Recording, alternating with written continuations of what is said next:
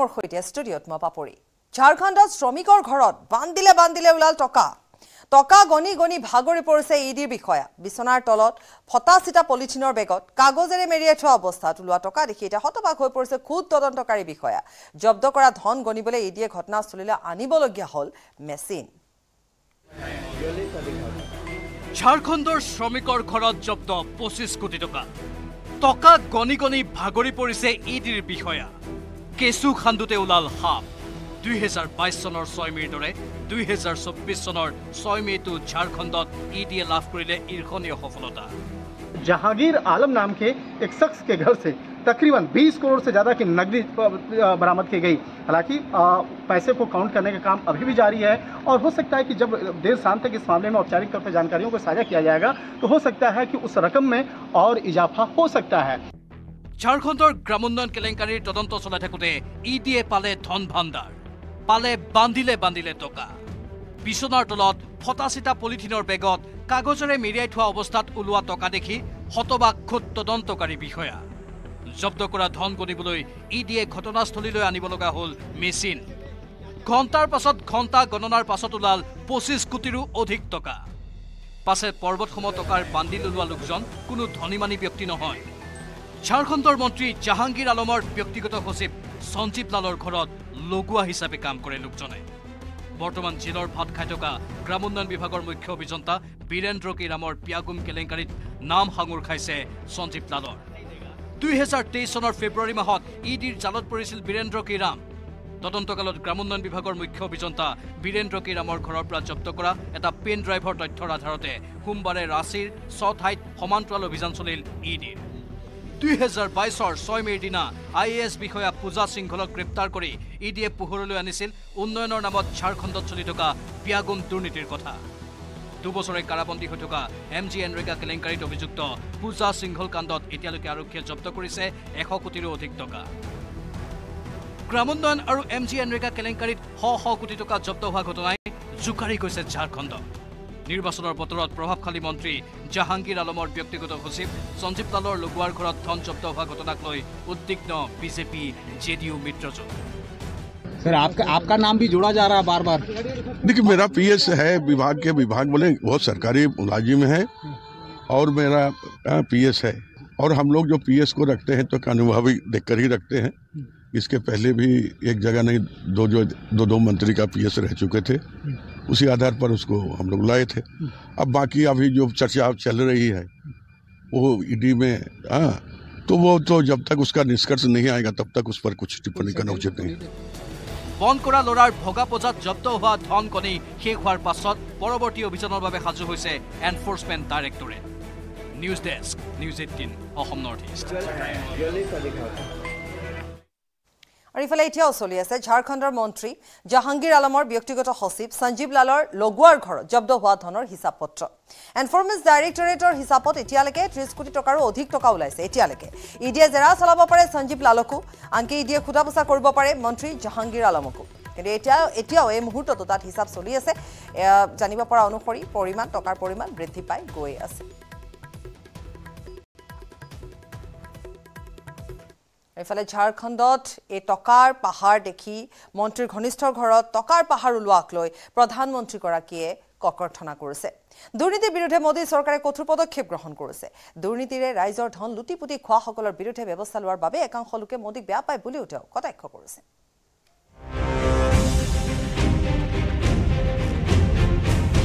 ঝাৰখণ্ডত ওলাইছে টকাৰ পাহাৰ।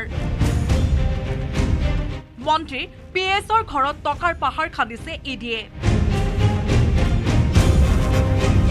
বান্ধিলে বান্ধিলে ওলাইছে কোটি কোটি টকা মন্ত্ৰীৰ ঘনিষ্ঠৰ ঘৰত টকাৰ পাহাৰ ওলোৱাক লৈ প্ৰধানমন্ত্ৰী মোদী ককৰ্থনা आपने देखा होगा अभी घर जाओगे तो टीवी पे देखना आज यहां पड़ोस में झारखंड में नोटों के पहाड़ मिल रहे हैं नोटों के पहाड़ लोगों का चोरी किया माल पकड़ रहा है मोदी वहां দুৰ্নীতিৰ বিৰুদ্ধে মোদী চৰকাৰে লৈছে কঠোৰ পদক্ষেপ দুৰ্নীতিৰে ৰাইজৰ ধন লুটিপুতি খোৱাসকলৰ বিৰুদ্ধে ব্যৱস্থা লোৱাৰ বাবে একাংশ লোকে মোদীক বেয়া পায় বুলিও কৰে কটাক্ষ मैं चोरी बंद कर दूं इनकी कमाई बंद कर दूं इनकी लूट बंद कर दूं तो मोदी को गाली देंगे कि नहीं देंगे देंगे कि नहीं देंगे लेकिन गाली खा करके मुझे काम करना चाहिए कि नहीं करना चाहिए आप मुझे बताइए मुझे आपकी पाई पाई बचानी चाहिए कि नहीं बचानी चाहिए উৰিষ্যাৰ এখন নিৰ্বাচনী সভাত মোদীয়ে কংগ্ৰেছ আৰু সহযোগী দলৰ নেতা মন্ত্ৰীৰ মাজত দুৰ্নীতি কিমান দলৈকৈ শিপায় তাকে বুজাবলৈ প্ৰয়াত প্ৰধানমন্ত্ৰী ৰাজীৱ গান্ধীৰ মন্তব্যৰো উল্লেখ কৰে য'ত ৰাজীৱ গান্ধীয়ে কৈছিল চৰকাৰে যদি এটকা এটা অনুমোদন দিয়ে তেন্তে জনতাৰ কামত লাগে মাত্ৰ পোন্ধৰ পইচাহে বাকী পঁচাশী পইচাই লুটি নিয়ে দুৰ্নীতিগ্ৰস্তসকলে चालीस साल पहले एक प्रधानमंत्री उड़ीसा आए थे चालीस साल पहले अब आपको याद हो गया होगा कौन आए थे उन्होंने कहा था कि मैं दिल्ली से एक रुपया भेजता हूं गरीब तक सिर्फ पंद्रह पैसा पहुंचता है यानी सौ में से पचासी पैसा ये कांग्रेस का पंजा लूट लेता था উল্লেখ্য যে ঝাৰখণ্ডৰ গ্ৰামোন্নয়ন মন্ত্ৰী আলমগীৰ আলমৰ ব্যক্তিগত সহায়ক সঞ্জীৱ লালৰ ঘৰৰ পঁচিছ কোটি টকা উদ্ধাৰ হৈছে সোমবাৰে পুৱাৰে পৰা টকা গণনা কৰা মেচিন লৈ ই ডিয়ে গণিছিল টকা টকা নিবলৈ প্ৰকাণ্ড প্ৰকাণ্ড ট্ৰাংক সানিছিল ই ডিয়ে এই দৃশ্য দেখিলেই অনুমান কৰিব পাৰি যে সঁচাকৈয়ে মোদীয়ে কোৱাৰ দৰে একাংশ নেতা মন্ত্ৰীয়ে গঢ়িছে টকাৰ পাহাৰ।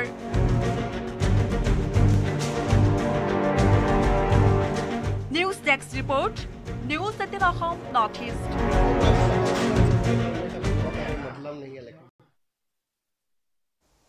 এতিয়াও উৰ্পৰা নাই। বিধায়ক আৱাসত সংঘটিত হোৱা চুৰিকাণ্ডৰ ৰহস্য। বিধায়কৰ দেহৰক্ষীৰ পৰা প্ৰকৃততে গুলীখিনি চুৰি হ'ল নে ক'ৰবাত অন্তৰ্ধান কৰিলে স্বয়ং দেহৰক্ষীগৰাকীয়ে। ঘটনাক লৈ মহানগৰ আৰক্ষীয়ে তদন্ত আৰম্ভ কৰিছে যদিও পোৱা নাই উপযুক্ত ক্লু। আনহাতে হাই ছিকিউৰিটি জোন সংঘটিত হোৱা চুৰিকাণ্ডক লৈ সৃষ্টি হৈছে প্ৰতিক্ৰিয়াও। মহানগৰীৰ হাই ছিকিউৰিটি জোনত চাঞ্চল্যকৰ চুৰিকাণ্ড। বিধায়ক আৱাস চৌহদৰ পৰা চুৰি হ'ল দেহৰক্ষীৰ গুলী ৰহস্যৰ গোন্ধ পাইছে মহানগৰ আৰক্ষীয়ে। কিমান নিৰাপদ আপুনি বাস কৰা এইখন মহানগৰ। হাই ছিকিউৰিটি জনতে চোৰে চলালে লুটপাত বিধায়ক আৱাসৰ এইটো ই ব্লকতে থাকে বিধায়ক শ্বেৰমান আলী একেটা চৌহদতে থাকে বিধায়কজনৰ দুই দেহৰক্ষী ক্ৰমে আনোৱাৰ হুছেইন আৰু আবুল কালাম আজাদ। কিন্তু বিধায়কজনৰ সৈতে দুই দেহৰক্ষী বিলাসী পাৰলৈ যাওঁতেই তেওঁলোকৰ কোঠাত চোৰে চলালে লুটপাত চোৰে লৈ গ'ল নগদ ধনৰ লগতে গুলীভৰ্তি মেগজিনো। যি চুৰিকাণ্ডক লৈ এতিয়া চৌদিশে সৃষ্টি হৈছে তীব্ৰ চাঞ্চল্যৰ। মেগজিন তাতে বিছটামান গুলি আছিল। সেই মেগজিনটো লৈ গৈছে। লগতে নগদ ধন আছিল ষোল্ল হাজাৰমান টকা। টকাখিনি লৈ গৈছে। পুলিচৰ যি ড্ৰেছ আছিল যে ড্ৰেছ দুজনৰে আছিল দুজনৰে ড্ৰেছেই লৈ গৈছে।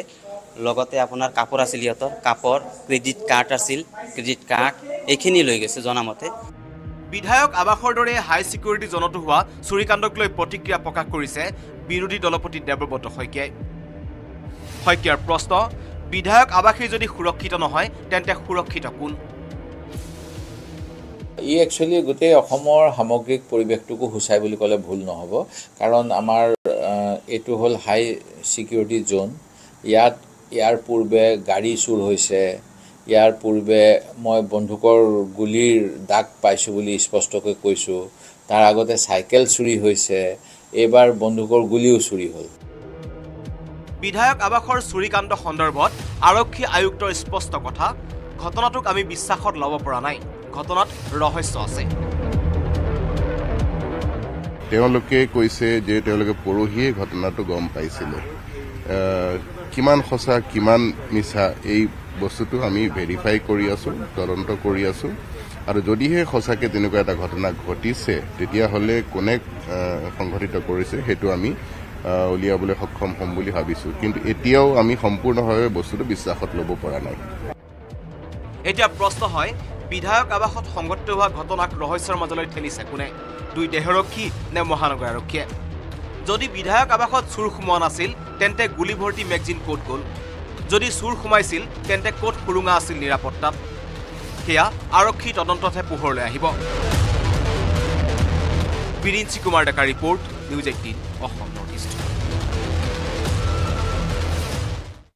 Lok Sabha নিৰ্বাচনৰ ধামখুমীয়াৰ মাজতে ধুবুৰীবাসীৰ দৃষ্টি আকৰ্ষণ কৰিছে মাইকেলে। খোজকাঢ়ি ভাৰত ভ্ৰমণ কৰা মাইকেলে ষোল্ল ডিচেম্বৰত আনিনীৰ পৰা লাডাখ যোৱাৰ উদ্দেশ্যে আৰম্ভ কৰিছিল পদযাত্ৰা। হিমালয়ান মাউণ্টেইনিঙৰ ইনষ্টিটিউটত ডেৰমহীয়া পৰ্বতাৰোহণৰ প্ৰশিক্ষণ লোৱা মাইকেলে নিজৰ হাতত বনালে হিমালয়ানৰ টেটু।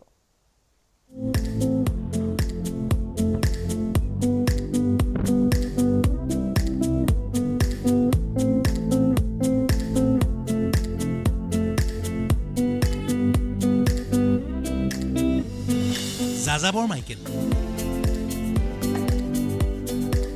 অক্লান্ত মাইকেল লোকসভা নিৰ্বাচনৰ ধামখুমীয়াৰ মাজতে ধুবুৰীবাসীৰ দৃষ্টি আকৰ্ষণ কৰিছে মাইকেলে। সুদূৰ আমেৰিকাৰ পৰা ভাৰতৰ সূৰ্যোদয়ৰ প্ৰথম স্থান হিচাপে পৰিচিত আনিলৈ অহা মাইকেলৰ উদ্দেশ্য কি? লোকসভা নিৰ্বাচনৰ কভাৰেজৰ বাবে যোৱা নিউজ এইটিন অসম নৰ্থ ইষ্টৰ ডেপুটি এডিটৰ নিলয় ভট্টাচাৰ্যক সকলো জনালে উইলিয়াম মাইকেলে। ধুবুৰী নিৰ্বাচনৰ কাভাৰেজৰ কাৰণে আহিছিলোঁ উভতি যোৱাৰ সময়ত বাটত এজন ব্যক্তি দেখিলোঁ আৰু ব্যক্তিজন দেখি গাড়ীখন মোৰ আগুৱাই লৈ যাব নোৱাৰ নোৱাৰা হ'লোঁ গাড়ীখন ৰখাই নামি আহিলোঁ। সেই মানুহজনৰ লগত কথা পাতিবলৈ। আহক প্ৰথমে কথা পাতিম। চ' প্ৰথমতে মই পৰিচয় দি কৰি দিব বিচাৰিছোঁ মোৰ সৈতে আছে উইলিয়াম। আমাৰ right I'm getting right William. From America আমেৰিকাৰ পৰা উইলিয়াম। চ' প্ৰথম কথা মই উইলিয়াম ডাঙৰীয়াই আমেৰিকাৰ পৰা দিল্লীলৈ আহিছিলে। দিল্লীৰ পৰা বাগডোগৰা আহিছে। বাগডোগৰাত আহি তেখেত দাৰ্জিলিঙলৈ গৈছে। দাৰ্জিলিঙত হিমালয়ান মাউণ্টেইনিয়াৰিং ইনষ্টিটিউটত তেখেতে বেচিক কোৰ্চ পৰ্বত আৰোহণৰ প্ৰাথমিক যিখিনি প্ৰাৰম্ভিক যিটো কোৰ্চ সেই কোৰ্চ কৰিছে এমাহ তাত আছিলে। আৰু তাৰপিছত তাৰ পৰা একেবাৰে অৰুণাচলৰ শেষৰ মূৰটো য'ত সূৰ্য উদয় হয় আনিনি লৈ গৈছে। আৰু আনিনিৰ পৰা তেখেতে খোজকাঢ়ি নিজৰ যাত্ৰা ভাৰত দৰ্শনৰ যাত্ৰা আৰম্ভ কৰিছে। ডিচেম্বৰ ঊনৈছ কেমেৰাই nineteen December you start it is journey from আনিনি now why do what what made you think like you should you need to walk from আনিনি of all the place in the world Start,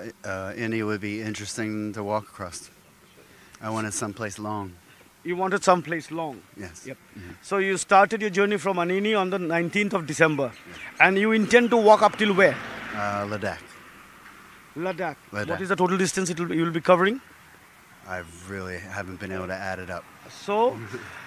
আনিনীৰ পৰা ঊনৈছ ডিচেম্বৰত খোজকাঢ়ি যাত্ৰা আৰম্ভ কৰিছে আনিনীৰ পৰা খোজকাঢ়ি আহি অৰুণাচলৰ হৈ উজনি অসমৰে আহি আজি ধুবুৰী পাইছেহি খোজকাঢ়ি ভাৰত ভ্ৰমণ কৰা মাইকেলে ষোল্ল ডিচেম্বৰত আনিনীৰ পৰা লাডাখ যোৱাৰ উদ্দেশ্যে আৰম্ভ কৰিছিল পদযাত্ৰা এই যাত্ৰাকালত বহু তিতা মিঠা অভিজ্ঞতাৰো সন্মুখীন হৈছে মাইকেল কেতিয়াবা যদি সন্ত্ৰাসবাদীৰ সন্দেহত আটক হৈছে তেন্তে কেতিয়াবা আকৌ অসমীয়াৰ অতিথি হোৱাৰো সুযোগ পাইছে এনে বহু বৰ্ণিল অভিজ্ঞতাৰ সাক্ষী হৈ পুনৰ এদিন আমেৰিকালৈ ঘূৰি যাব Michael while you have walked down from Anini, where did you put up at night and what, what, what places you have been? Everywhere. I've stayed with, I've stayed with over 36 families. Uh, I've stayed in police stations, under bridges. Why police station? The police uh, caught you and took you to the station or like you intended to stay in the police station? Um, no, um, two two times I uh, asked to stay, and uh, one of the times they picked me up. Why did you did, did they pick you up? Well, unfortunately, people have called the police on me six times in Assam. Okay. So আচৰিতভাৱে অসমত খোজকাঢ়ি আহি থকাৰ সময়ত ছবাৰকৈ মানুহ মানুহে পুলিচক আপত্তি কৰি দিছিলে পুলিচে উঠাই লৈ গৈছিলে থানাত ৰাখিছিলে সোধ পোছ কৰিছিলে so' what did you tell the police like what did they think you you you you like Oh, they were good to me. They were They good to took you? me back to the barracks, give me a place to sleep, and uh, take a shower. We played carom. they they asked you gave you to play carom also প্ৰশিক্ষণ লোৱা মাইকেলে নিজৰ হাতত বনাইছিল Himalayan টেটু so you have tattooed all over your body A lot. huh? all over your body you have tattooed Not my whole body, but a lot. a lot of tattoo Yeah. okay so after you complete your Indian trail Himalayan trail you'll have a ta- tattoo on that too Uh, yeah, I got some things in Darjeeling. Yeah. what tattoo you have something something to show inside the body Uh, well, I got something for HMI for school. Uh, the Hil- Himalayan Mountaineering my course Institute. My course number. Uh, this is the course number 359. Okay. পেছাত গাড়ীৰ mechanic মাইকেলে ধুবুৰীৰে পাৰ হৈ যোৱাৰ সময়ত প্ৰশংসা কৰিলে অসমৰ স্থাপত্যকলাৰ Good things. Uh, I've stayed with some amazing families, and I've seen some very beautiful uh, architecture and just different uh, sights in Assam. And uh, I've enjoyed a lot of really good food. Best things, uh, thing you have experienced so far? Probably staying with families. Stay with They've- the families. Yeah, they've been amazing. They have been Abs- yeah, absolutely amazing. Basically, what do you do in America? What do you used to do in America? Uh, it's collision tech, fix fix cars. Fix cars. Yes. mhm. Like these cars, you, you fix cars. Yes. গাড়ী তেখেত এজন technician আমাৰ ইয়াত mechanical mechanic বুলি কওঁ তাত তেখেতে গাড়ী ঠিক কৰে বুলি কয় তেখেত ফিক্স কৰে গাড়ী ঠিক কৰে in which part of America Uh, Maryland, East Coast, Maryland. East coast Maryland east coast মেৰিলিনৰ পৰা Just above the capital, DC. Okay you have your family up there No, no, no You're wife. single? No wife, no kids. Yeah, I'm single. That's why like you thought like travelling around the world would be good Yeah, part of it. I don't have those responsibilities Uh, that no would responsibility. keep me tied down. So, yes. So now you start your journey. All the way best, William. All the best.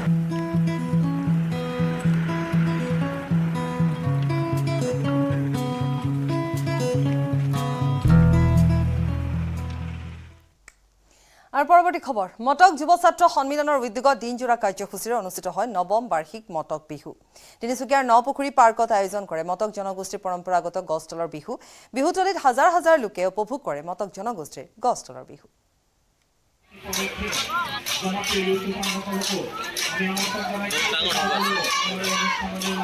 পৰম্পৰাগত ৰীতি নীতিৰে আকৌ এবাৰ মুখৰিত হ'ল গছতলৰ বিহু।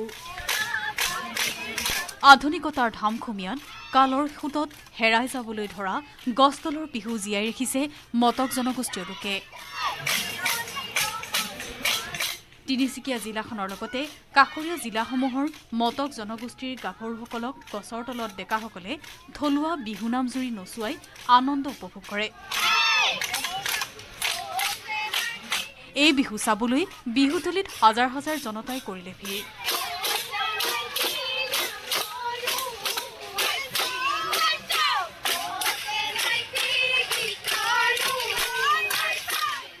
আচলতে অপূৰ্ব। প্ৰথমবাৰৰ কাৰণে মটকসকলৰ গছতলৰ বিহুত আহি উপস্থিত হৈছোহি। আৰু এই ধৰণেৰে নিজৰ জাতীয় ঐতিহ্যক আজিৰ তাৰিখলৈকে ধৰি ৰাখিব পৰাটো খুব ডাঙৰ কথা। বিৰাট ভাল লাগিছে নিজৰ জেগা হয়।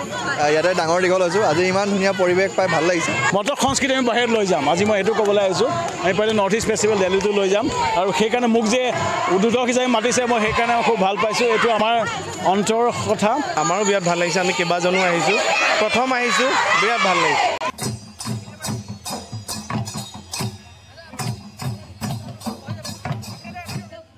মটক জনগোষ্ঠীৰ ছাত্ৰ সংগঠন সদৌ অসম যুৱ ছাত্ৰ সন্মিলনৰ তিনিচুকীয়া জিলা সমিতিৰ উদ্যোগত সোমবাৰে দিনজোৰা কাৰ্যসূচীৰে আয়োজন কৰে নৱম বাৰ্ষিক মটক বিহু। তিনিচুকীয়াৰ ঐতিহাসিক মুৰুথ নন্দন কানন অৰ্থাৎ নপুখুৰী পাৰত অনুষ্ঠিত হয় মটক জনগোষ্ঠীৰ পৰম্পৰাগত গছতলৰ বিহু।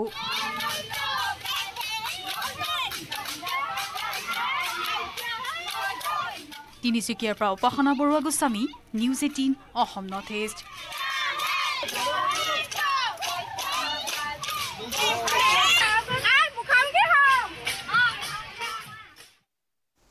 তৃতীয় পৰ্যায়ৰ ভোটৰ প্ৰাক্ষণত মহানগৰীত যাত্ৰীৰ হাহাকাৰ। যাত্ৰীবাহী বাহনৰ অভাৱত ট্ৰাকত উঠি ঘৰলৈ ৰাওনা হ'ল গুৱাহাটীত বাস কৰা চাৰিটা সমষ্টিৰ বহু ভোটাৰ। মহানগৰীৰ জালুকবাৰীত অভাৱনীয় পৰিস্থিতিৰ সৃষ্টি হৈছে।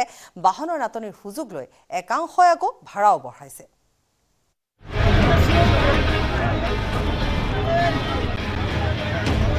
হঠাৎ অন্তৰ্ধান মহানগৰীৰ বাছ। জালুকবাৰীত শ শ যাত্ৰীৰ মাজত হাহাকাৰ।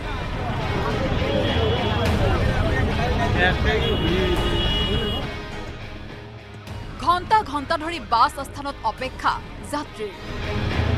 কলৈ গ'ল যাত্ৰীবাহী বাছ? গাড়ী নাই। দহটা পৰা ৰখি আছোঁ এটা গাড়ীও পোৱা নাই। মঙলবাৰে ৰাজ্যত তৃতীয় পৰ্যায়ৰ নিৰ্বাচন। গণতান্ত্ৰিক অধিকাৰ সাব্যস্ত কৰিবৰ বাবে নিজ নিজ সমষ্টিলৈ যাবলৈ জালুকবাৰীত গোট খাইছে যাত্ৰীসকল। নামনি অসমৰ বাছৰ বাবে ঘণ্টা ঘণ্টা অপেক্ষা কৰিব লগা হৈছে এইসকল যাত্ৰীয়ে। এতিয়াতো আজি চব গাড়ীবিলাকতো ৰিকুৱেশ্যন কৰিছে। এতিয়া পাব্লিকক দেখিছে আপোনালোকে কেনেকুৱা মানুহ ৰৈ আছে।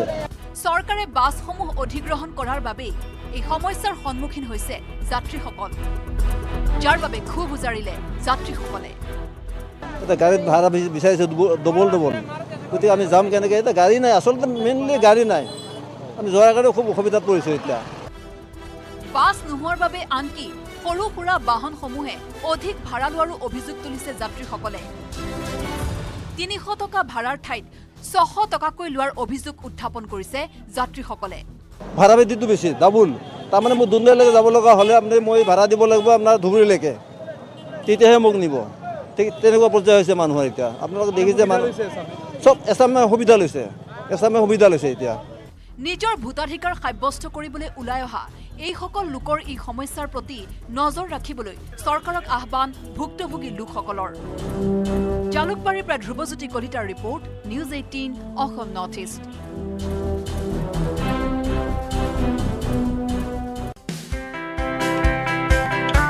Drawing ৰুমৰ টেবুলত বহি নহয়। ই ভি এমৰ বুটাম টিপি কৰক ৰাজনীতি অহা কাইলৈ হ'ব লগা গণতন্ত্ৰৰ বৃহৎ মহোৎসৱৰ অংশীদাৰ হওক আপুনি। ওলাই আহক প্ৰতিজন মহানগৰবাসী সাব্যস্ত কৰক নিজৰ ভোটাধিকাৰ। আৰু ব্ৰেকিং নিউজ কাইলৈ ভোটদান নকৰে দিছপুৰৰ বিধায়ক অতুল বৰাই। বিজেপিৰ বিধায়ক অতুল বৰাই ভোটদান নকৰে। মঙলবাৰৰ দিনটোত ঘৰৰ চৌহদৰ পৰা নোলায় বিধায়ক বৰা। বহু বছৰ ধৰি হেনো মঙলবাৰৰ দিনটোত তেওঁ ঘৰৰ চৌহদৰ পৰা ওলোৱাই নাই। কাইলৈ যিহেতু মঙলবাৰ সেইবাবে তেওঁ ঘৰৰ চৌহদৰ পৰা নোলায়। আৰু সেইবাবে তেওঁৰ বহুমূলীয়া ভোটটো তেওঁ নিদিয়ে। অতিকৈ তাৎপৰ্যপূৰ্ণ কথা যে ভোটদান নকৰে দিছপুৰৰ বিধায়ক অতুল বৰাই। আৰু কাৰণটো হৈছে মঙলবাৰে তেওঁ ঘৰৰ চৌহদৰ পৰা নোলায়। আৰু সেইবাবে তেওঁ তেওঁৰ বহুমূলীয়া ভোটটি অৰ্থাৎ তেওঁ যি অধিকাৰ সেই অধিকাৰ তেওঁ সাব্যস্ত নকৰে। গণতান্ত্ৰিক অধিকাৰ তেওঁ সাব্যস্ত নকৰে। তেওঁ বহুমূলীয়া ভোটটো তেওঁ নিদিয়ে। কাৰণ মঙলবাৰে তেওঁ ঘৰৰ চৌহদৰ পৰা বহু বছৰ ধৰি ওলোৱাই নাই। আৰু কাইলৈ যিহেতু মঙলবাৰৰ দিনটোতে ভোট পৰিছে ভোটদান পৰিছে নিৰ্বাচন পৰিছে গতিকে তেওঁ ওলোৱাৰ কথাই নাহে সেইবাবে তেওঁ ভোটদান নকৰে।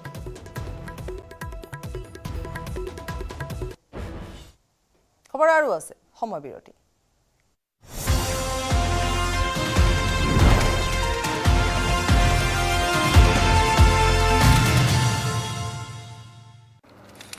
এইটো মাইথান ষ্টীল নহয়। অ ওচৰ চুবুৰীয়াসকলে লগাইছে।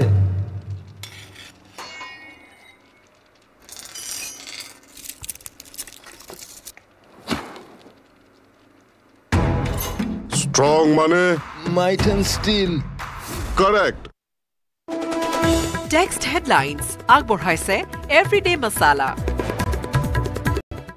সুগন্ধ ৰং আৰু সোৱাদ খাটি এভৰিডে দিয়ে আহাৰৰ জুতি।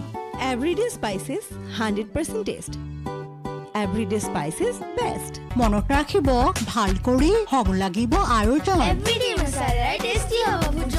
everyday spices hundred percent taste everyday spices best সুগন্ধ ৰং আৰু সোৱাদ খাটি। এভৰিডে জিভাত দিয়ে আচল জুতি। Everyday spices hundred percent taste text headlines আগবঢ়াইছে এভৰিডে মছালা বাতৰি আগবঢ়া দিলে এপ্ৰুভেল প্ৰদান কৰিলে আৰু তেতিয়াৰ পৰাই অ' বি চিৰ সাতাইছ পাৰ্চেণ্ট ৰিজাৰ্ভেশ্যন ভাৰতবৰ্ষত হ'ল। কিন্তু ইন্দ্ৰ চাহানী গোচৰত উচ্চতম ন্যায়ালয়ে এটা কেপ এটা সীমা নিৰ্ধাৰণ কৰিলে। ক'লে ভাৰতবৰ্ষত চাকৰিৰ ক্ষেত্ৰত ক্ষেত্ৰতে হওক বা শিক্ষাৰ ক্ষেত্ৰতে হওক শিক্ষা গ্ৰহণৰ ক্ষেত্ৰতে হওক পঞ্চাছ শতাংশতকৈ অধিক ৰিজাৰ্ভেশ্যন হ'ব নোৱাৰিব। সেয়া হৈছে ইন্দ্ৰ চাহানী গোচৰ। আৰু ঊনৈছশ তিৰান্নব্বৈ চনৰ পৰা ইন্দ্ৰ বি পি মণ্ডল কমিশ্যনৰ ৰিকমেণ্ডেশ্যন কাৰ্যকৰী হ'ল। ভাৰতবৰ্ষত অ' বি চি সাতাইছ শতাংশ এছ চি পোন্ধৰ শতাংশ আৰু এছ টি সাত দশমিক পাঁচ শতাংশ গতিকে ৰিজাৰ্ভেশ্যন হ'লগৈ forty nine point five percent আৰু যেতিয়াই বিভিন্ন ৰাজ্যই অ' বি চিসকলৰ মাজত মুছলমানসকলক সংৰক্ষণ দিব বিচাৰে বা পৃথককৈ হ'লেও মুছলমানসকলক সংৰক্ষণ দিব বিচাৰে তেতিয়া সমগ্ৰ প্ৰক্ৰিয়াটো ইন্দ্ৰ চাহানী যি গোচৰ ঐতিহাসিক গোচৰৰ যি ৰায় সেই ৰায়ৰ বিৰুদ্ধে বিৰুদ্ধে যায় বা ৰায়ৰ বিৰুদ্ধাচৰণ হোৱা বুলি এক প্ৰকাৰ ক'ব পাৰি। কিন্তু যেতিয়া দুহেজাৰ ঊনৈছ চনত বিজেপি চৰকাৰে পুনৰ দহ শতাংশৰ সংৰক্ষণৰ ব্যৱস্থা আনিলে বিশেষকৈ অৰ্থনৈতিকভাৱে পিছপৰা লোকসকলৰ কাৰণে আৰু সেই গোটেই বিষয়টো যেতিয়া উচ্চতম ন্যায়ালয়ৰ মজিয়ালৈ গৈছিল দেশৰ তদানীন্তন মুখ্য ন্যায়াধীশ ৰঞ্জন গগৈ নেতৃত্বত বহা পাঁচজনীয়া বিচাৰপীঠখনে সাংবিধানিক বিচাৰপীঠখনে কিন্তু তেতিয়া দহ শতাংশ ইকনমিকেলি উইকাৰ ছেকশ্যন অফ ছেকশ্যনৰ কাৰণে যি সংৰক্ষণ সেই সংৰক্ষণত এপ্ৰুভেল দিছিলে গ্ৰীণ ছিগনেল দিছিলে আৰু ইন্দ্ৰ চাহানী গোচৰৰ নিৰ্দেশৰ যি ফিফটি পাৰ্চেণ্টৰ সীমা নিৰ্ধাৰণ কৰি দিছিলে ঊনৈছশ তিৰান্নব্বৈ চনত উচ্চতম ন্যায়ালয়ে সেই সীমা ক্ৰছ কৰিব পাৰি বা সেই সীমাৰ বাহিৰলৈ গৈ সংৰক্ষণ দিব পাৰি বুলি উচ্চতম ন্যায়ালয়ে কৈছিলে। সেয়া এতিয়ালৈকে। কিন্তু বিভিন্ন সময়ত এইবাৰো বিজেপিয়ে কৈছে মুছলমানৰ সংৰক্ষণ আইন বৰ্হিভূত কাৰণ ভাৰতৰ সংবিধানত ধৰ্মৰ নামত সংৰক্ষণৰ ব্যৱস্থা নাই। ভাৰতৰ সংবিধানৰ কোনো এটা অনুচ্ছেদত ধৰ্মৰ নামত সংৰক্ষণৰ ব্যৱস্থাৰ কথা কোৱা হোৱা নাই। অনু যি অনুচ্ছেদ ষোল্লই যি চাকৰিৰ ক্ষেত্ৰত চাকৰিৰ ক্ষেত্ৰত ডিছক্ৰিমিনেশ্যন বন্ধ কৰাৰ কথা কৈছে বা চাকৰিৰ ক্ষেত্ৰত নন ডিছক্ৰিমিনেটৰী এপ্ৰ'চৰ নিশ্চিতি প্ৰদান কৰিছে সেই আৰ্টিকলটোতো ধৰ্মৰ ভিত্তিত সংৰক্ষণৰ কোনো কথা কোৱা হোৱা নাই। মাথো কোৱা হৈছে যদিহে দেশে বিচাৰে তেতিয়া দেশে যদি বিচাৰে তেতিয়া কোনোবা এটা পিছপৰা শ্ৰেণীক আগবঢ়াই লৈ আহিবলৈ আইন প্ৰণয়ন কৰিব পাৰে যাতে সেই পিছপৰা শ্ৰেণীৰ লোকসকল বঞ্চিত হ'ব নালাগে চাকৰি চৰকাৰী চাকৰিৰ পৰা। আৰু অনুৰূপ অনুৰূপ কনচেপ্টেই শিক্ষাখণ্ডৰ ক্ষেত্ৰতো খাটে। এতিয়া মুছলমানসকলক সংৰক্ষণৰ সংৰক্ষণ দিব লাগে নে নালাগে এই বিষয়টো বিভিন্ন সময়ত উত্থাপন হৈছে। স্বচ্ছৰ কমিটি গঠন কৰা হৈছিল। স্বচ্ছৰ কমিটিয়েও মুছলমানসকল পিছ পৰি আছে বুলি বিভিন্ন সময়ত কৈছিলে। মুছলমানসকলৰ কেটেগ যি কেটেগৰাইজেশ্যন মুছলমানসকলৰ বিভিন্ন কেটেগৰী আছে। উদাহৰণস্বৰূপে কোনোবা পূৰ্বতে এছ চি হিন্দু ধৰ্মত যেতিয়া হিন্দু ধৰ্ম ধৰ্ম ধৰ্মৰ যোগেদি পৰিচালিত হৈছিল তেতিয়া যদি তেওঁ এছ চি সম্প্ৰদায়ৰ আছিলে বা যদি তেওঁ অ' বি চি সম্প্ৰদায় আছিলে তেওঁ যদি কালক্ৰমত কনভাৰ্ট হ'ল তেওঁৰ পূৰ্বৰ যি অ' বি চি আৰু এছ চি সম্প্ৰদায়ৰ পৰিচয় সেই পৰিচয়টোৰ যোগেদি তেওঁ এই যি সুযোগ এছ চি এছ টি হোৱাৰ সুযোগ পাবনে? ই এক প্ৰশ্ন। তাৰ সমান্তৰালকৈ এছ টিৰ ক্ষেত্ৰত দেখা যায় যিসকলে খ্ৰীষ্টিয়ান ধৰ্ম গ্ৰহণ কৰিছে তেওঁলোকে টিৰ মৰ্যাদা পাই আছে। বিভিন্ন সময়ত বিভিন্ন বিজেপিৰ ভগ্নী সংগঠনসমূহে দাবী কৰি আহিছে যেতিয়াই এগৰাকী ব্যক্তি তেওঁৰ যি এনিমিষ্টিক কালচাৰ যিটো কালচাৰৰ যোগেদি তেওঁ এছ টি ষ্টেটাছ লাভ কৰি আছে তেওঁ যদি সেই কালচাৰটো পৰিত্যাগ কৰি আন এক ধৰ্ম ধৰ্ম অনেক ধৰ্ম গ্ৰহণ কৰিছে। উদাহৰণস্বৰূপে খ্ৰীষ্টিয়ান ধৰ্ম গ্ৰহণ কৰিছে তেওঁক এছ টিৰ ষ্টেটাছ বা এছ টিৰ যি মৰ্যাদা সেই মৰ্যাদা প্ৰদান কৰিব নালাগে। অনাগত সময়ত সংবিধান সংশোধন কৰি যদি এনে ব্যৱস্থা আহে সেয়া পৃথক বিষয়। কিন্তু মুছলমানে সংৰক্ষণ পোৱাৰ বিষয়টো যথেষ্ট প্ৰাসংগিক হৈ আছে এই মুহূৰ্তত।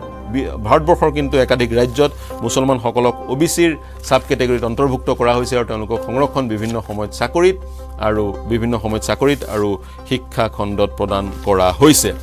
অনাগত সময়ত এই বিষয়টো কেনেদৰে আগবাঢ়ে সেয়া সেয়া স্বাভাৱিকতে লক্ষণীয় হ'ব।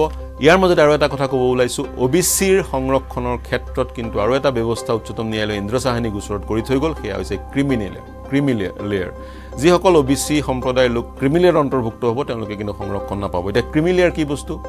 দুহেজাৰ পোন্ধৰ চনত ইয়াৰ সংজ্ঞা নিৰূপণ হ'ল। যিগৰাকী অ' বি চি ব্যক্তিৰ আদাৰ অন্যান্য পিছপৰা শ্ৰেণীৰ ব্যক্তিৰ বছৰি ইনকাম আঠ লাখ টকা বা তেওঁৰ যদি এহেজাৰ স্কুৱাৰ ফিটতকৈ সৰু ঘৰ আছে নতুবা তেওঁ যদি পাঁচ একৰ ভূমিৰ ভূমিতকৈ কম ভূমিৰ মালিক তেতিয়া তেওঁ ক্ৰিমিলেয়াৰত অন্তৰ্ভুক্ত নহ'ব। যদিহে তেওঁৰ আঠ লাখ টকাতকৈ অধিক বছৰি আয় এহেজাৰ স্কুৱাৰ ফিটতকৈ ডাঙৰ ঘৰ বা পাঁচ একৰ মাটিতকৈ বেছি মাটি আছে তেওঁ ক্ৰিমিলেয়াৰত অন্তৰ্ভুক্ত হ'ব তেওঁ বা তেওঁৰ সন্তানে অ' বি চিৰ যি মৰ্যাদা সা সুবিধা নাপাব। আৰু যিসকল মুছলমান সম্প্ৰদায়ৰ লোক অ' বি চিৰ ছাব কেটেগৰীত অন্তৰ্ভুক্ত হৈছে তেওঁলোকৰ ক্ষেত্ৰতো একেটাই কথা প্ৰযোজ্য হ'ব। প্ৰিয় দৰ্শক অনাগত সময়ত এই সংৰক্ষণৰ গোটেই প্ৰক্ৰিয়াটো কেনেদৰে আগবাঢ়ে সেয়া লক্ষণীয় হ'ব। সংৰক্ষণৰ ব্যৱস্থা কৰা হৈছে পিছপৰা লোকসকলক লেভেল প্লেয়িং এটা ফিল্ড দিবলৈ। তেওঁলোকে তেওঁলোকো যাতে মূল সুঁতিৰ আন আন সম্প্ৰদায়ৰ লোকসকলৰ সৈতে সমানে ফেৰ মাৰি আগবঢ়াই আগবাঢ়ি যাব পাৰে। আৰু দেশত চাকৰিৰ ক্ষেত্ৰত বা শিক্ষাৰ ক্ষেত্ৰত সমতা এটা স্থাপন হয় প্ৰতিটো সম্প্ৰদায়ৰ লোকে যাতে সমভাৱে আগবাঢ়ি যাব পাৰে আৰু ইকুৱেল অপৰচুনিটি পায় সমানেই সুযোগ লাভ কৰে আগবাঢ়ি যাবলৈ সেইকাৰণে সংৰক্ষণৰ ব্যৱস্থা। প্ৰথমতে দহ বছৰৰ কাৰণে সেই ব্যৱস্থা কৰা হৈছিলে কিন্তু তাৰপিছত এই ব্যৱস্থাক বঢ়াই বঢ়াই আজিও চলি আছে। যদিহে কোনো এটা সম্প্ৰদায়ে তেওঁ যোৱা পঞ্চাছ বছৰে সেই সুযোগ গ্ৰহণ কৰি আগবাঢ়ি গ'ল চিডুল কাষ্ট বা চিডুল ট্ৰাইব ট্ৰাইবত অন্তৰ্ভুক্ত হোৱাৰ কাৰণে তেওঁ আগবাঢ়ি গ'ল আগবাঢ়ি মূল সুঁতিৰ আন আন আগবঢ়া সম্প্ৰদায়ৰ লোকসকলৰ সৈতে সহৱস্থান গ্ৰহণ কৰিলে তেওঁৰ সন্তানে পুনৰ সেই এছ টি এছ চি বা অ' বি চিৰ সুবিধা পাব লাগেনে? ইও এক প্ৰাসংগিক প্ৰশ্ন। প্ৰিয় দৰ্শক এই আছিল আমাৰ বিশ্লেষণ। মুছলমানসকলে সংৰক্ষণ পাব লাগেনে নে? সংবিধানে কি কয়? বিশ্লেষণ আগবঢ়ালোঁ। আপোনালোকে কি ভাবে? আপোনালোকৰ মন্তব্য জানিব বিচাৰিম। মুছলমানক সংৰক্ষণ দিয়াৰ সন্দৰ্ভত বা এনেই ভাৰতবৰ্ষত সামগ্ৰিকভাৱে সংৰক্ষণ ব্যৱস্থাটোৰ সন্দৰ্ভত আপোনালোকে মন্তব্য আগবঢ়াব পাৰে। বিষয়টো যথেষ্ট জটিল এই বিষয়টোত সোমাই আছে বহুকেইটা সংবিধানৰ অনুচ্ছেদ বহুকেইটা উচ্চতম ন্যায়ালয়ৰ ঐতিহাসিক জাজমেণ্ট বহুকেইটা কনষ্টিটিউশ্যন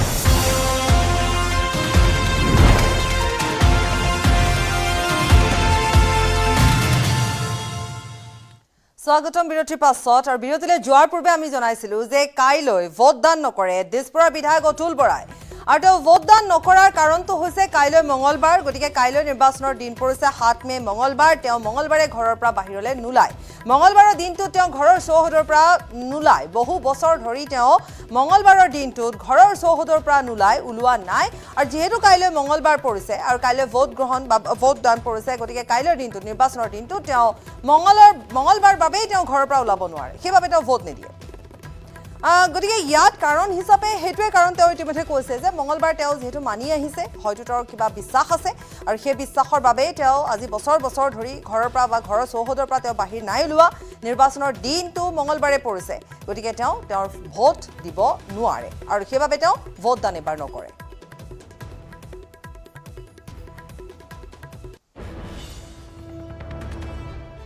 পুনৰ এবাৰ এইখিনিতে কৈছোঁ। পুনৰ এবাৰ এইখিনিতে কৈছোঁ যে তেওঁ এটা কথা উল্লেখ কৰিছে যে তেওঁ ভোট এইকাৰণে দিব নোৱাৰে যে মঙলবাৰৰ দিনটো দিনটো তেওঁ এটা বিশ্বাসৰ কিবা এটা তেওঁৰ বিশ্বাস আছে আৰু সেইবাবে হয়তো তেওঁ বছৰ বছৰ ধৰি এই ঘৰটোত এই চৌহদৰ পৰা তেওঁ এই বাৰটোত নোলায় মঙলবাৰৰ দিনটোত নোলায়।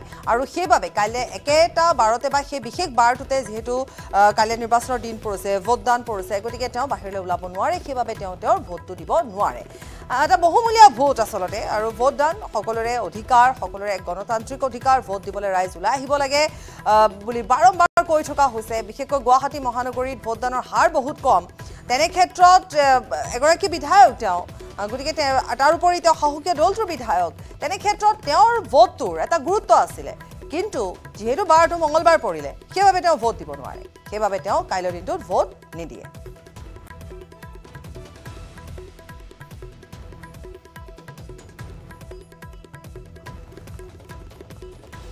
বিজেপিৰ বিধায়ক অতুল বৰাই ভোটদান নকৰে। পুনৰবাৰ এইখিনিতে উল্লেখ কৰিছোঁ যে তেওঁ ভোটদান নকৰে আৰু পুনৰ আমি গোটেই কথাখিনি যদি আমি এতিয়া চাওঁ যিহেতু কাইলৈৰ দিনটো এটা গুৰুত্বপূৰ্ণ দিন বাৰম্বাৰ সকলোৱে এটা কথাই কৈ আছে মুখ্যমন্ত্ৰী ডক্টৰ হিমন্ত বিশ্ব আমি এই মুহূৰ্তত তেওঁৰ সৈতে সংযুক্ত হৈছোঁ বিধায়কগৰাকীৰ সৈতে। ডাঙৰীয়া আপুনি ভোট নিদিয়ে কাইলৈ? অ ভোট নিদিয়ে নহয় মই মানে দিলোহেঁতেন কিন্তু মঙলবাৰ পৰাৰ কাৰণে মই বঞ্চিত হলো। এইকাৰণে যে মঙলবাৰ দিনটোত মোৰ চৌহদৰ পৰা কেম্পাছৰ পৰা মই ওলাই নাযাওঁ। আৰু আন মানুহ তেনেকে নাহে আহিলে কিবা নজনা মানুহে আহে। জনাবিলাক মঙলবাৰে মোৰ ঘৰলৈ নাহে। অৰ্থাৎ আপোনাৰ কিবা তেনেকুৱা বিশ্বাস আছে যিটো আপুনি মানি আহিছে বছৰ বছৰ বিশ্বাসটো আছেই তাৰমানে কি হ'ল শুভ অশুভ। মোৰ ভাই এটা এক্সিডেণ্ট হৈ ঢুকাইছে মঙলবাৰে মোৰ দেউতাও ঢুকাইছে মঙলবাৰে আৰু মাৰ মৃত্যু হৈছে মঙলবাৰে কিন্তু মোৰ জন্ম মঙলবাৰে মোৰ ল'ৰাৰো জন্ম মঙলবাৰে হনুমানৰো জন্ম মঙলবাৰে এই শুভ আৰু অশুভ। এ চব লগ লাগিছে সেই মঙলবাৰে সেইকাৰণে মঙলবাৰ দিনটো আজি বহু বছৰ ধৰি মানি আহিছো।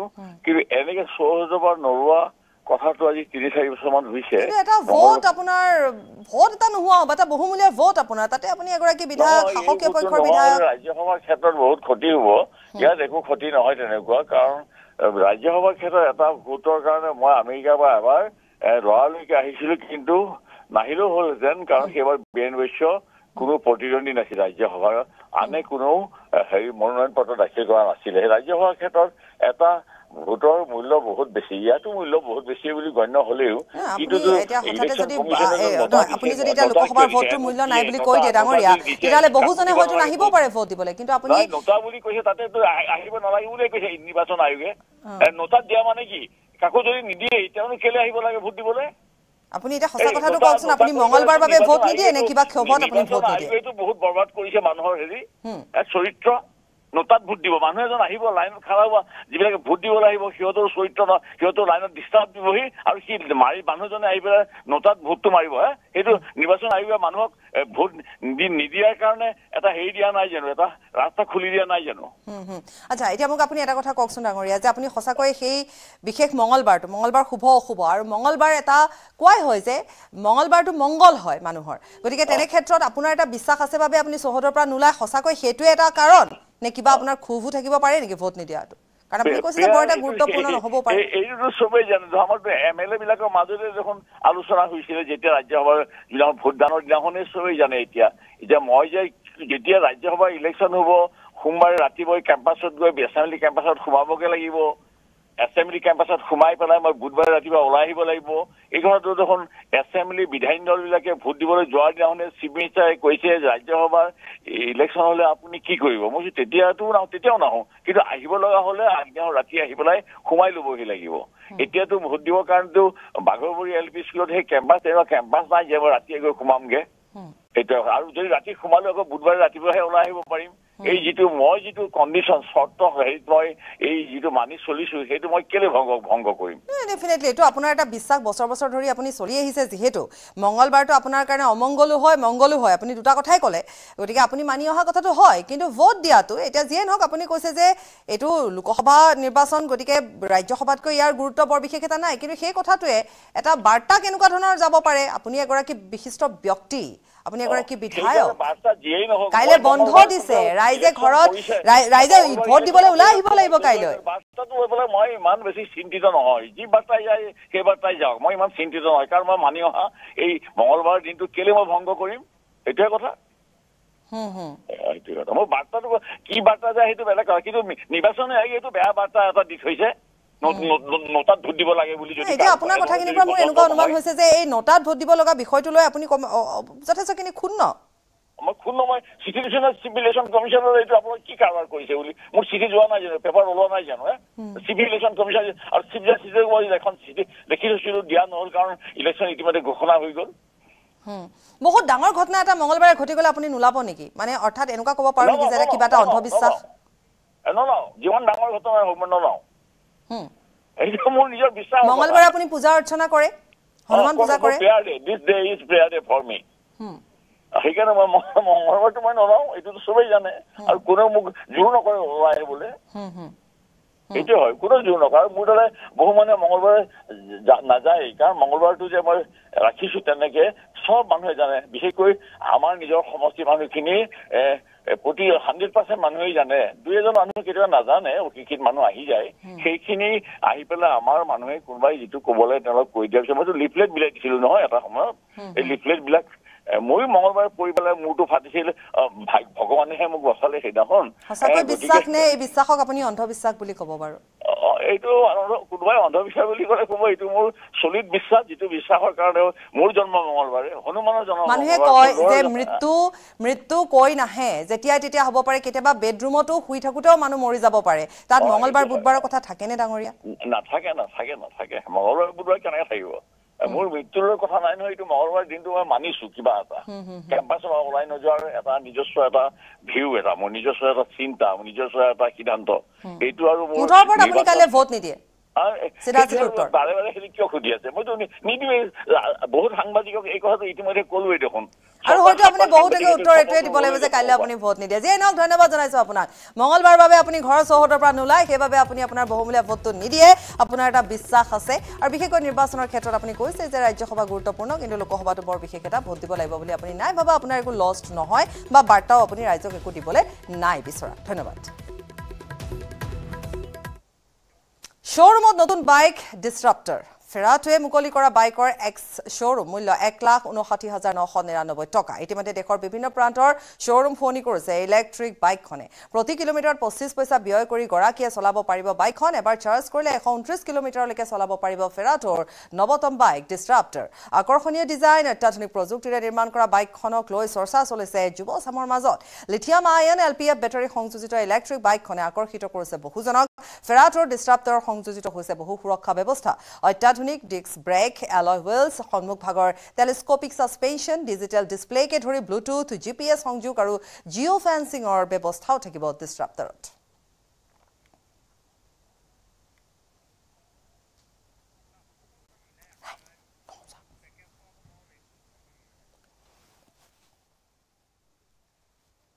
এখন নতুন বাইক মুকলি কৰা হৈছে নতুন বাইক ডিষ্ট্ৰাপ্টাৰ ফেৰাটোৱে মুকলি কৰিছে নতুন বাইকখন বাইকখনৰ এক্সৰ মূল্য হৈছে এক লাখ ঊনষাঠি হাজাৰ নশ নিৰান্নব্বৈ টকা বিভিন্ন প্ৰান্তৰ শ্ব'ৰুমসমূহত শুৱনি কৰিছে এই বিশেষ বাইকখনে এশ ঊনত্ৰিছ কিলোমিটাৰ চলাব পাৰে বাইকখন এবাৰ চাৰ্জ কৰিলে হ'ল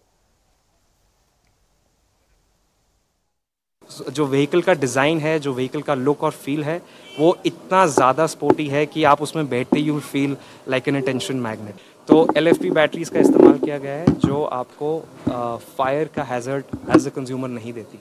तो इसका प्राइस जो कंज्यूमर्स के लिए है, वो एक one lakh fifty nine thousand nine hundred ninety nine है आफ्टर द सेंट्रल सब्सिडी और अगर आप दिल्ली, महाराष्ट्र ऐसे कुछ स्टेट्स में हैं, जहाँ पे स्टेट सब्सिडीज़ भी वैलिड है, उसके अंदर इसके स्टेट सब्सिडी का माइनस करके, जैसे मैं दिल्ली का एग्जांपल लेता हूँ तो one lakh fifty nine thousand nine ninety nine की जगह आपको वन लाख फोर्टी थाउज़ेंड तक की बाइक आपको मिल जाएगी ये जिसके अंदर आप 130 किलोमीटर तक की रेंज 95 किलोमीटर पर आवर की टॉप स्पीड और एल बैटरी का इस्तेमाल करते हुए आप यूज़ कर सकते हैं আৰু ইয়াৰে সৈতে দিনটো শিৰোনামৰ পৰা বিদায় লৈছোঁ নমস্কাৰ